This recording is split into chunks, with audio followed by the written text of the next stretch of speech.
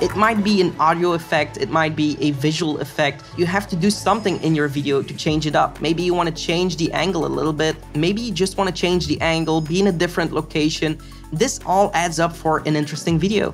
And an example of this would be a very slow keyframed zoom in. So you could just zoom in from 100% to 110% over four seconds. We've got this subtle digital push in, and that's going to make your shot more dynamic and more interesting. I think a lot of times editing is problem solving. Even with visual effects, it's to figure out what tools can I use to produce this effect. Of course, you're going to run into road bumps and you're not going to figure it out right away. But then once you do figure it out, it's like this aha moment, and it's like you're the best problem solver ever, and you just can't wait to share that new tool with people. And that is what drives me to create on my own YouTube channel. Content creators have just a few seconds to grab their audience's attention and keep it. So the opening of your video needs to really pack a punch.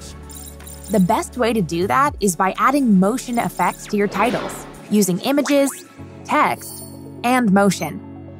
You don't need a big budget to do it, even though more and more Hollywood studios are wowing audiences with Adobe software. All you really need is a little imagination it's never been easier to take your social media video from this to this.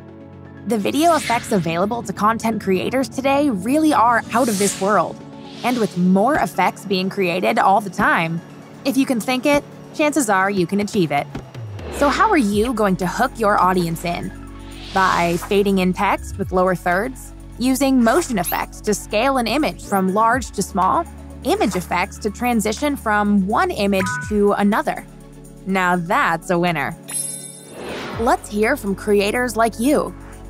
Effects keep your video engaging because they allow us to go past our limitations. We can put ourselves in different locations with just a simple green screen and some effects.